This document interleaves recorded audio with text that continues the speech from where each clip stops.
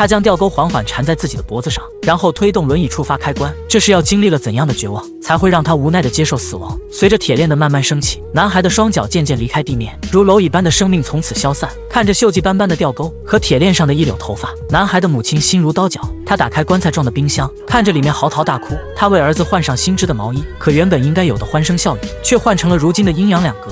只有那凄惨的哀鸣声回荡在昏暗的机修房里。待这位母亲平复了心情后，一场用爱诛心的复仇计划也随即正式拉开帷幕。而要复仇的对象就是这个靠春梦自嗨的男人，他叫李江道，是个十恶不赦的高利贷催收者。他没有亲人，更没有朋友，心狠手辣，残忍无情，是他自诩的生存准则。这天，他又收到催收任务，一对夫妻欠下三千元，可仅仅只过了一星期，就利滚利变成了三十万。江道一把拽开门帘，男人还想反抗一下，却被江道的手死死挡住，眼神透露出渗人的杀气。进门直接就是一耳瓜子，接着又送上一记电炮。看着江道在扭动机器，男人的妻子害怕极了，急忙将丈夫推出门外。她全身赤裸的挡住江道。丈夫在门外抽着闷烟，以为妻子的做法会奏效，可江道却完全不为所动，就如同床头插着匕首的海报，仿佛就是他内心的真实写照。他一把扯下女人的内衣，狠狠抽打在她的背上。即便听到女人痛苦的哀嚎，但江道的脸上却没有哪怕一丝的怜悯与同情。江道拉起门帘，挑衅的将内衣扔在地上，此举唤醒了丈夫的血性，冲上去就要和江道拼命。跪在外面的妻子苦苦哀求，而屋内江道拽起男人的手，放在碾压机上，用袜子塞住他的嘴。打开机器的一瞬间，屋内传出杀猪一般的惨叫。用伤残保险金抵账是他们唯一的还款方式。女人咒骂江道，可江道早已司空见惯。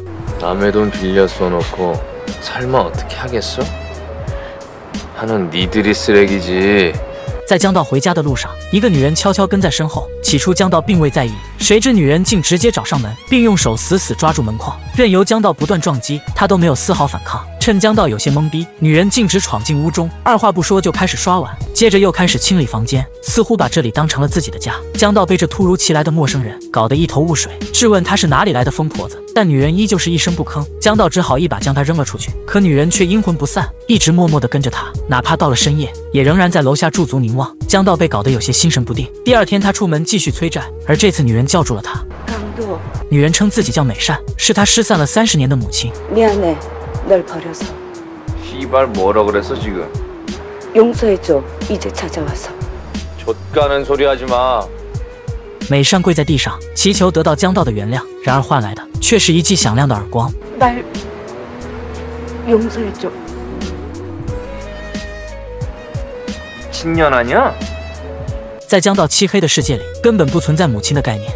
可好不容易找到儿子，美善又怎么会再轻易放弃？来到催债的小店，江道接过信封一看，里面的金额远远不够，于是疯狂地扇对方的脸。见他的母亲躲在角落哭泣，江道不但没法善心，反而变本加厉，换成手继续扇，似乎也是在告诉美善，他的心肠是多狠。他将大叔带到一处烂尾楼，测量了一下高度，掉下去刚好摔成残废。可大叔为了不拖累母亲，想找个更高的地方一死了之。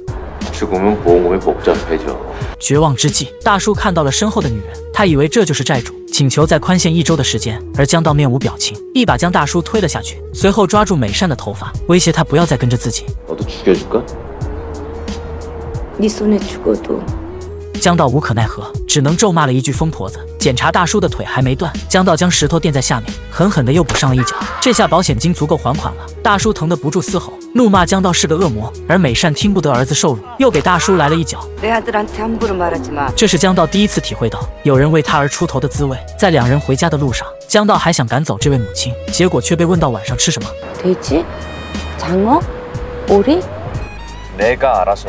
二十分钟后，美善递上一条新买的鱼，可好意却没得到任何回应。于是他丢下手里的鱼，气冲冲地转身离去。而江道并没有马上吃掉，而是将鱼养了起来。看着上面美善留下的名片，他的内心似乎多了些什么，于是慌忙看向窗外。晚上又上天台寻找，可全都没有母亲的身影。第二天，江道照常又去催债，但当他不紧不慢地赶到时，对方早已经服药自杀了。然而人死债却不能消，按照遗书上的地址，江道找到对方母亲的家，进门就问有什么值钱的东西。显然这位母亲并不知情，他无。无奈只得带走了老人的兔子。催债失败让江道非常郁闷，而无处排遣的压抑促使他拨通了美善的电话。似乎是在酒精的作用下。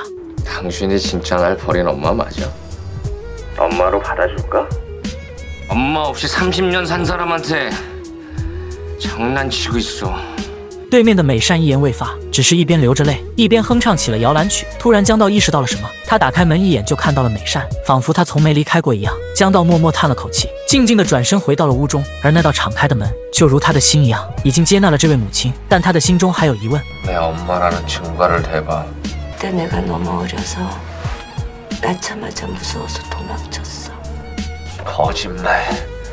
너누구야왜지금나타나서나한테이래나한테원하는게뭐 啊啊，剑再质问下去也没什么结果，江道索性拔下匕首就走了，片刻之后，他带着一块肉回来。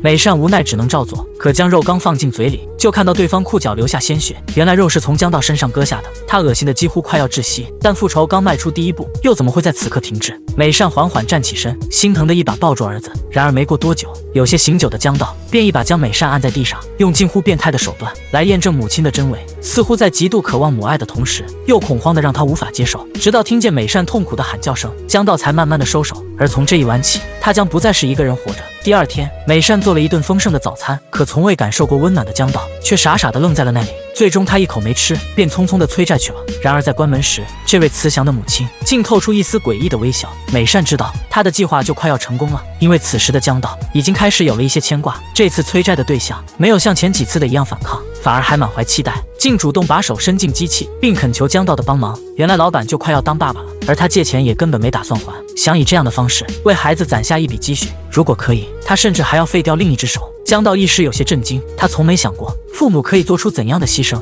부럽다뭐가아이를생각하는마음부모마음은다똑같지않은가당신부모도그랬을거야或许是因为美善的关系，江道第一次产生了动摇。他放下保险单，默默地转身离开了。 可随着机器的转动，一声惨叫从身后传来。江道明显迟疑了一下，也许幸福就该付出代价吧。在回家的路上，江道看中了一件外衣，于是买下来送给美善，而美善也为他准备好了午餐。这个家开始变得和睦温馨。江道好奇地问：“나도형제가있냐고？”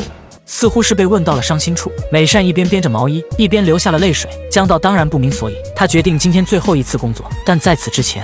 죽이고 싶은 사람은 美善没有正面回答只是两眼直勾勾的看向江道。此时她还不知道眼前并不是亲生母亲而她要复仇的对象正是自己。下午的催债任务还在继续。这次的大叔活得无比通透两人一起来到高处看着不断盖起的高楼大厦再想想自己住的低矮破旧。繁华与他们这些人毫无关系。他们活得就像机床里的零件，身不由己，且终将被取代。分别时，两人朝着不同的方向，似乎也预示着不同的结局。随着一声巨响，大叔的生命戛然而止。在目睹了形形色色的欠债人所表现出的参差不齐的异同后，江道陷入了深深的迷茫。他开始怀疑钱到底有怎样的魔力，能让人沦落得如此卑微，又或是义无反顾地向前。他如行尸走肉一般回到家，母亲语重心长地安慰道。모든것의시작이자끝이지사랑 명예폭력분노증오질투복수 죽음。 听到复仇一词，江道突然反应过来。집에낯선사람찾아오면절대문열어주지말아요바로나한테연락해그럴게 우리 외출할까 两人走在繁华的街道上，那个曾经的恶魔，如今挽着母亲的手，就像个乖巧的小孩子。吃饭要妈妈亲手喂，买东西要和妈妈是同款。看到喜欢的动物型气球，他立刻戴在头上，像考试得了一百分似的，却被一旁贱嘴的情侣嘲笑。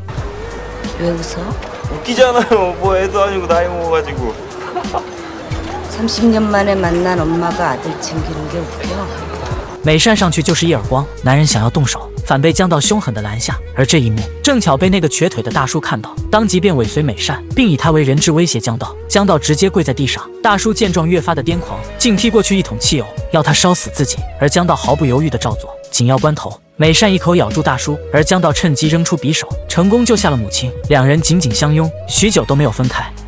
江道习惯了母亲的陪伴，开始变得有些焦躁不安。他生怕美善如果突然消失，自己该如何生存下去？而美善只是笑了笑，告诉他今天是你的生日，不如买个蛋糕回来吧。江道一脸兴奋，伸手就拿起了毛衣，以为这就是生日礼物，放在身上不住的打量，可却反被母亲一把夺回。接着没再说过一句话。等江道提着蛋糕回到家，美善真的玩了一回消失，四处都找不见他的身影，就连电话也没带上。江道猜测是老板绑架了母亲，于是急匆匆的赶了过去，可却因为没收到上次的款，挨了老板一顿响亮的耳光。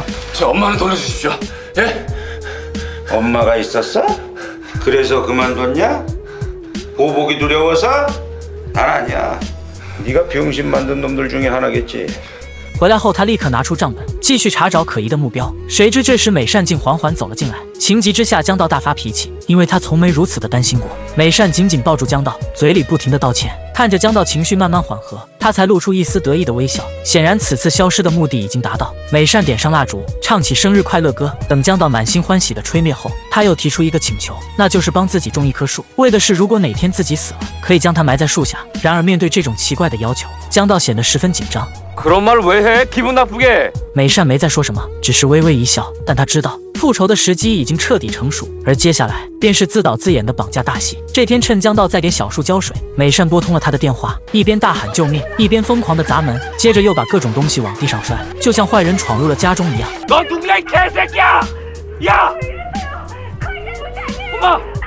最后，在歇斯底里的尖叫声中，美善结束了自己的表演。此时的江道心急如焚，等他赶回家中，屋里只剩一片狼藉，而母亲早已不见踪影。他立刻拿起账本，准备挨家挨户的排查。第一家的残疾大叔见到江道凶神恶煞的样子，直接就被吓尿。看来凶手肯定不是他。江道又来到下一家，可老人却把他领到坟地。原来欠债人几年前就已被逼死。他沿着曾经作恶的轨迹一路寻找。每到一处都要经受一次良心上的折磨。他来到被他绞断胳膊的人家，对着男人就是一顿毒打，但对方显然毫不知情。临走时，他甩下一沓钞票，男人欣喜若狂，可他的妻子却根本不领情，还拿起酒瓶打算拼命。 돈만 없다는 너 같은 새끼.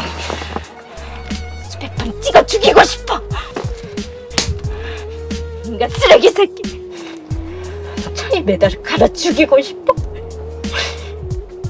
江道来到最后一家，一个孤零零的轮椅和地上破旧的球鞋。他拿起墙上的一张照片，可悲的是，他竟根本想不起这人是谁。于是翻看旁边留下的日记，原来男孩只借了五百块，可利息一天就翻了十倍，最终无力偿还，被活活逼死。江道感觉身心疲惫，坐在轮椅上昏睡了过去。此时躲起来的美善缓缓走出，多么的讽刺！逼死自己儿子的仇人，如今却变成他的儿子，坐在同样的位置。 널 용서할 수가 없어. 넌 돈으로 인간을 시험하는 악마야. 너도 이제 그 사람들의 심장이 돼봐. 가족이 네 눈앞에서 죽는 모습을 똑똑히 봐. 随后，美善来到催债公司，见到老板，直接就扇了几个耳光，接着拨通江道的电话，听见母亲因自己而被人打，江道悲痛地趴在了地上，而美善却在挂断电话后，拎着铁锁链冲进了老板的房间。然而，复仇计划还差最后一步。 이제 놈의 영혼은 죽을 거야. 지 눈앞에서 내가 죽으면 가족을 잃은 고통으로 빈 껍데기만 남고 他给江道发去一张烂尾楼的照片，显然这就是绑架的地点。等江道急匆匆地赶到，美善又开始了他的表演。他站在顶楼，对着空气求饶，嘴里不断大喊着救命。 江道跪在地上，祈求上面的人放过母亲。他不停地猛磕头，俨然和从前判若两人。而此时高高在上的美善，眼神中透露出得意与冷漠。随着他的一跃而下，江道的精神彻底崩溃。他拼了命地摇晃母亲，声嘶力竭地哭喊，想换回哪怕一丁点的回应。江道按照母亲的要求，准备把她埋在小树下。可当他挖开土壤，却看到了母亲织的那件毛衣，竟穿在另一个人的身上。一瞬间，他明白了一切。他换上毛衣，紧紧挽着美善的手臂，像一个真正的儿子一样守护在母亲的身边。最后，他来到被他迫害的家庭。这次他没有打扰他们，而是像那个妻子所说，用铁链把自己拴在车底。随着汽车缓缓的启动，在凌晨的大街上留下了一道长长的血痕。或许江道是带着微笑离去的吧，毕竟曾有位母亲在他最好的年华为他驱走黑暗温暖的心房。圣伤上映于二零一二年，导演相信用人与人之间的爱，即便是十恶不赦的人，也仍然有着被救赎的可能。但片中的做法却又是残忍的，因为当你将尖刀狠狠刺进一颗袒露的心时，刀柄也生生弄疼了自己。爱是相互的，痛也是。